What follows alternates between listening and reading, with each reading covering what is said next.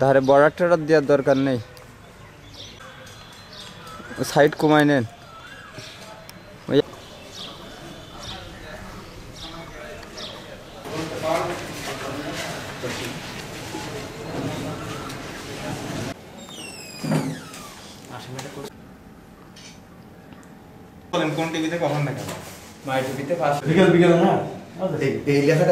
সকাল সাত ঘটিকায়।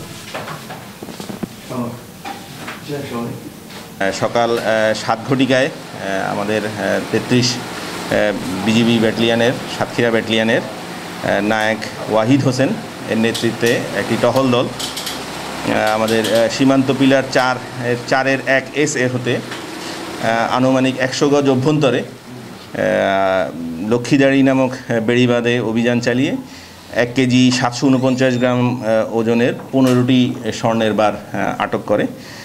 সাথে হাফিজুল ইসলাম বয়স আটচল্লিশ, পিতা মোহাম্মদ শামসুদ্দিন গাজী, গ্রাম লক্ষ্মীদাড়ি, পোস্ট ভোমরা থানা সদর হতে, সাতক্ষীরা সদর হতে একজন আসামিকেও আটক করে। এটা মানে একটা সোর্সের ইনফরমেশনে পাওয়া পাওয়া, এটা জাস্ট একটা ছোট স্কচটেপে মোড়ানো অবস্থায় নিয়ে যাচ্ছিল আর কি।